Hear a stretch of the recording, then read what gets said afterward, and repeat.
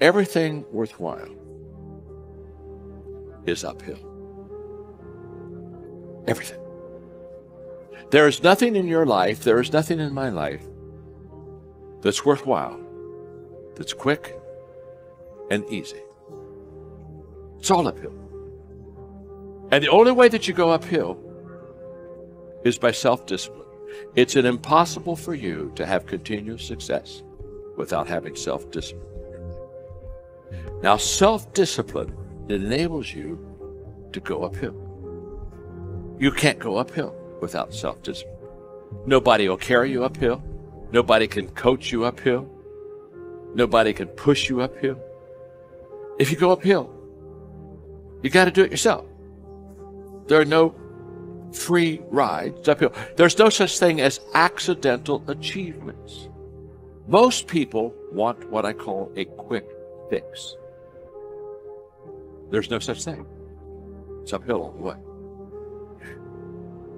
And self discipline is the vehicle that gets you there. Look, I'd love to sugarcoat this thing for you. I'd love to tell you, look, you can go out here and get rich, do a couple of things, ain't happen. You gotta get real doggish. You gotta get downright funky if you wanna make it. But that's how people look at success. They look at it like you do a few things.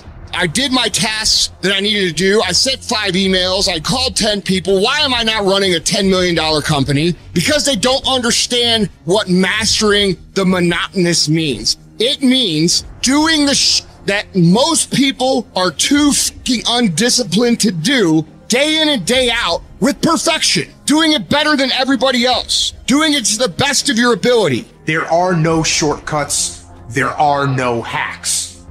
If you want to take the easy road, I promise you it's longer and more painful than the hard road.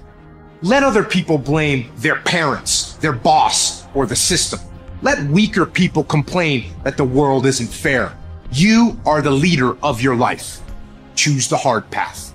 The path of responsibility, hard work, and sacrifice. The path of discipline, humility, and ownership that ultimately leads to freedom.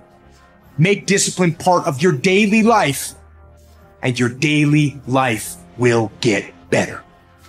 Instead of letting your goals and your tasks and your health and your discipline waver, rise up and aggressively move forward down the path toward victory.